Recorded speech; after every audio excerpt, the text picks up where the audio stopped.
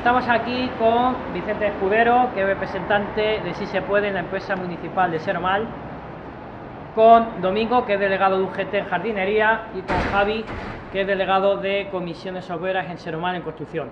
Eh, primeramente, eh, Vicente, eh, en el último pleno hubo un cambio de estatutos en Seromal.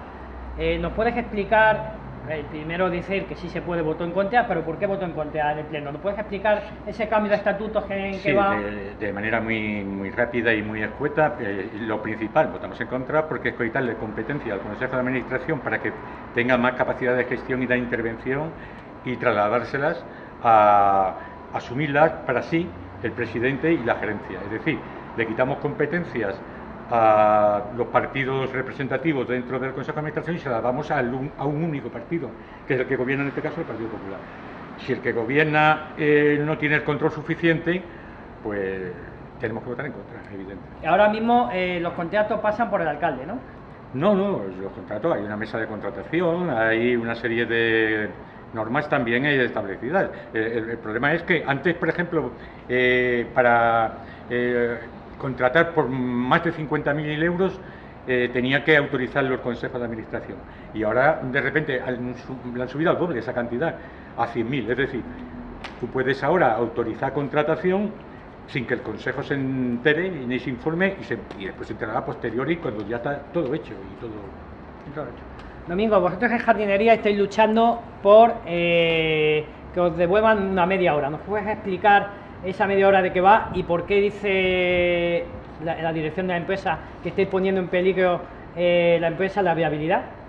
Pues no lo sabemos, de la viabilidad no lo sabemos por qué, porque siempre ha sido una empresa que ha dado beneficios.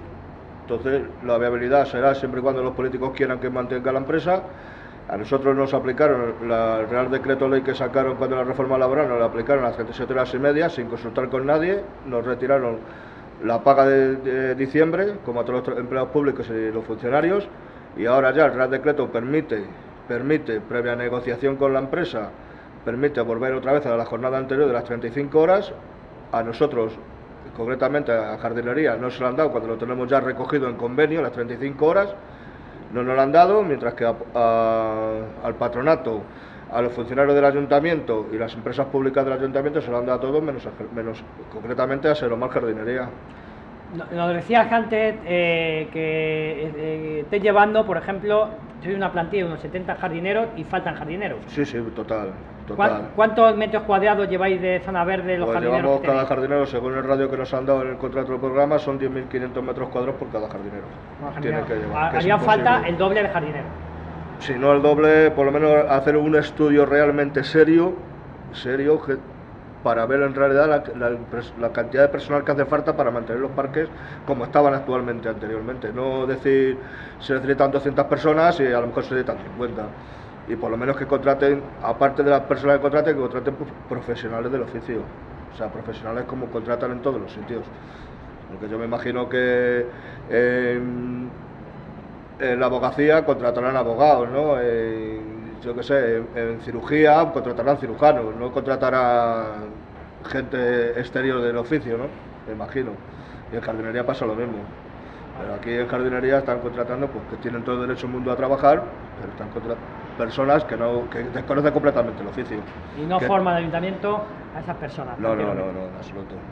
En absoluto. Los contratan que tienen todo el perfecto derecho a trabajar como, como todo el mundo, ¿no? Pero vamos, por lo menos pues, lo hemos repartido muchas veces a la empresa y, y nada. nada.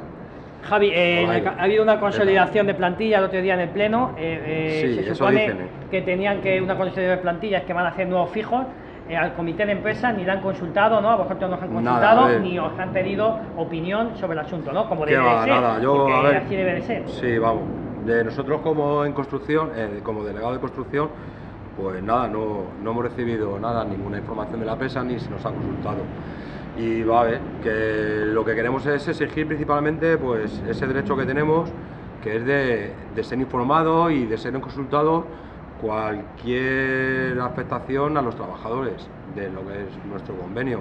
Y ahí pues exigir eso a la empresa que no se han dignado ni a ni a llamar. Ni a llamarnos ni a, a ni nada. ni posterior ni anteriormente no, no la verdad es que nada. Entonces vamos no sé porque nosotros lo que siempre hemos manifestado que que nuestro espíritu siempre será el de, el de, el de lucha- del estar ahí para que los intereses de los trabajadores siempre estén bien representados y que todo lo que sea el empleo y, y cumplir los artículos que tenemos en nuestro convenio sobre empleo y todo, pues, pues vamos a estar ahí. Para una empresa pública eh, tiene un comportamiento más feo. Sí, viene siendo una práctica privada. habitual, ya lo comentaba antes, que, que no se nos informa. No se nos informa ni se nos consulta.